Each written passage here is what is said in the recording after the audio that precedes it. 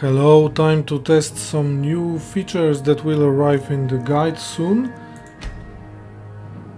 New features of Fores New Idles and some other additions like the Dual Sheath Redux that I'm going to show you. So I loaded up the save, I can put up my torch. As you can see the quiver is uh, down on my butt and now I can take an imperial sword and it is placed on my back. And I can take out the sword. The same goes for all NPCs they will have the swords on their backs where they belong. TK dodge is already in the guide. So let's see how it works with the new FNIS version. Works correct.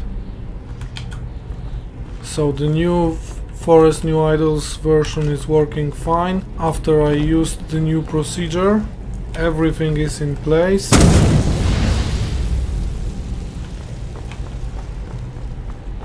So all this is soon gonna be in the Tuco guide for you so you can implement it as well.